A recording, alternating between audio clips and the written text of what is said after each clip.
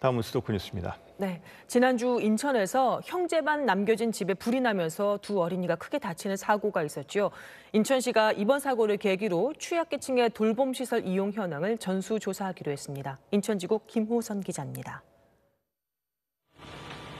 지난주 인천시 미추홀구에서 단둘이 집에 있다 갑자기 일어난 화재에 크게 다친 10살, 8살 형제는 여전히 의식을 찾지 못하는 것으로 알려졌습니다.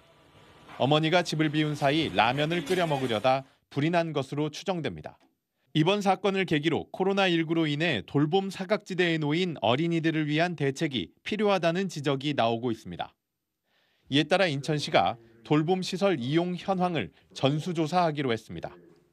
각 군구와 함께 지역 아동센터 등 돌봄 시설 이용 학생이 얼마나 되는지 현황을 파악할 예정입니다.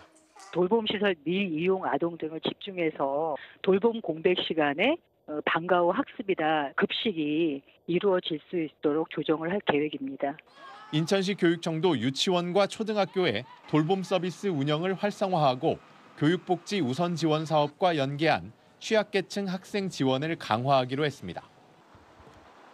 올 추석 연휴 기간 문학, 원적, 만월 등 인천 지역 내 3개 민자 터널이 유료로 운영됩니다.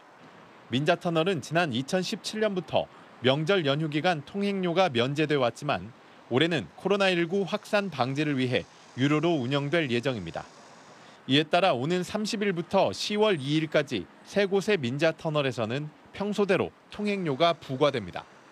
SBS 김호선입니다.